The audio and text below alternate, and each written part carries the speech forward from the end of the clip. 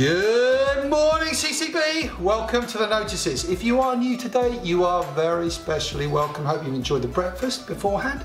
Um, but uh, if you are new or recently come to the church, we love to introduce you to some of the exciting things going on. So if you fill in one of these Connect cards, that will help us to, uh, to send you details of some of those things that are happening.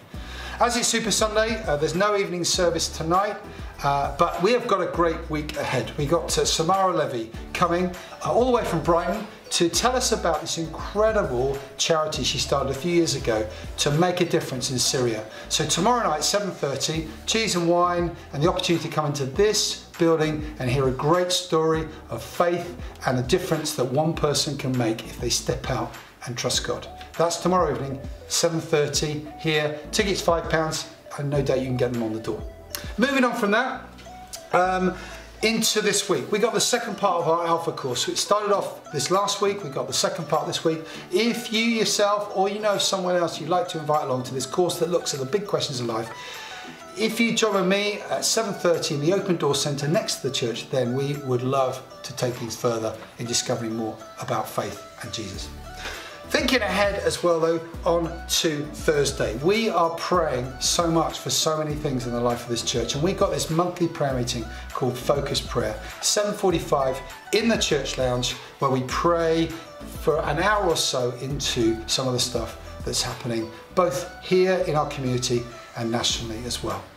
But that takes us to an international thing we want to tell you about. Across the other side of the world, some amazing things are happening in a World Cup. A World Cup that involves a really, really key sport to so many people. No, not basketball. No, not even football.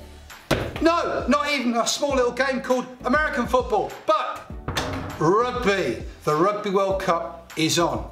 England are doing great so far, two massive games coming up. The next two Saturday mornings, 8.45 to 11.15, we have set aside the church lounge for us to have light breakfast with a bacon butty and then watch the game together. So that's this coming Saturday and the Saturday after uh, in England's games against Argentina and against France. Should be absolutely cracking, all welcome. Which leads us to the final thing, which is next Sunday is Harvest and it's an opportunity in both the services in the morning 9 and 10.45 for us to thank God for his goodness and what he's given to us. We've got an incredibly uh, amazing uh, mission partner coming, Chris Scott, who's going to talk about his work in Malawi but also out of uh, starting our series on the Creed and the Creator God that we worship.